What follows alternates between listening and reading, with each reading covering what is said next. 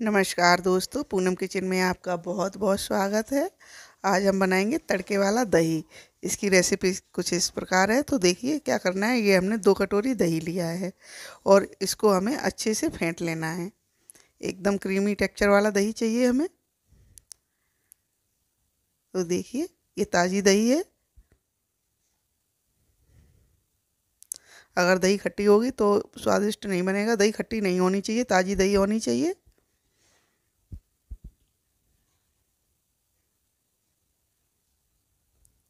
तो देखिए, इसको कम से कम दो मिनट तक ऐसे इस तरह फेंटना है।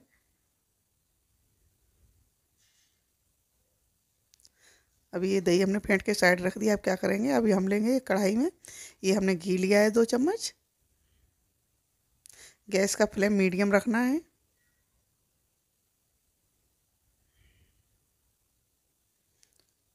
तो देखिए घी गर्म हो गया। अभी हम इसमें डाल देंगे आधा चम्मच जीरा।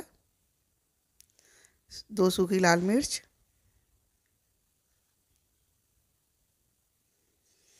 और अच्छे से जीरे को चटकने देना है।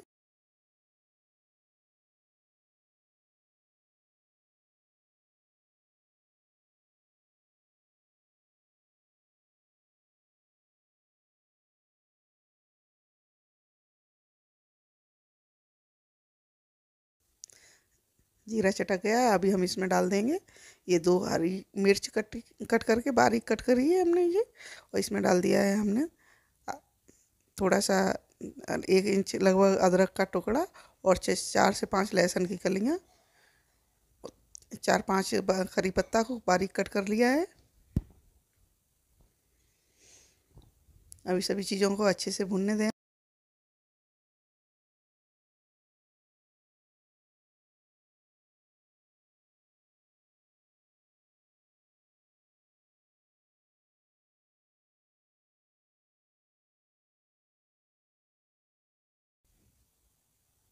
अब क्या करेंगे? अभी हम इसमें डाल देंगे एक प्याज।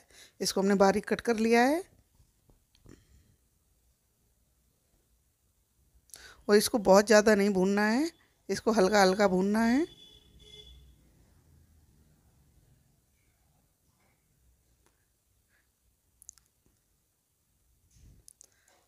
और हम इसमें डाल देंगे ये कश्मीरी लाल मिर्च, आधा चम्मच, दो पिंच हल्दी आधा चम्मच धनिया पाउडर, आधा चम्मच कसूरी मेथी, अभी सभी चीज़ों को डाल के अच्छे से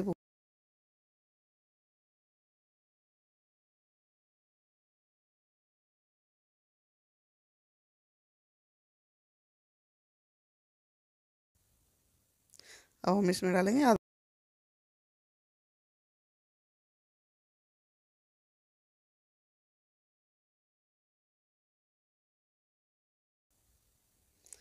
अभी क्या करेंगे गैस का फ्लेम हमने बिल्कुल बंद कर दिया है और ये हमने जो दही फेंट के रखा था, इसको हम इस कढ़ाई में डाल देते हैं और इसको अच्छे से मिक्स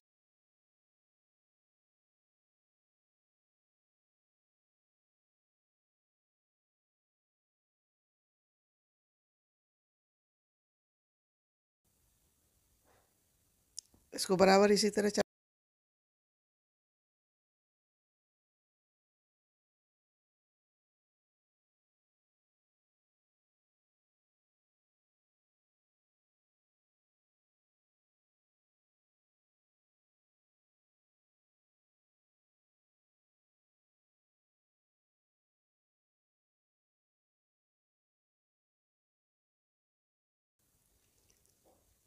अगर आपने चलाना बंद कर दिया तो ये दही फट जाएगा। फ्लेम जब हम बंद करें गैस तभी हम डालें।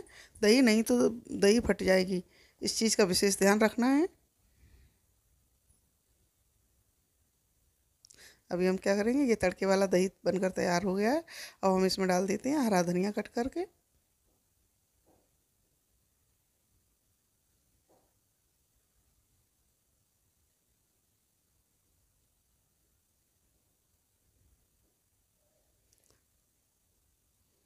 तो देखिए फ्रेंड्स, ये हमारा तड़के वाला दही बनकर तैयार हो गया है। आप इससे बिना सब्ज़ी के भी रोटी खा सकते हो बहुत स्वादिष्ट बनता है।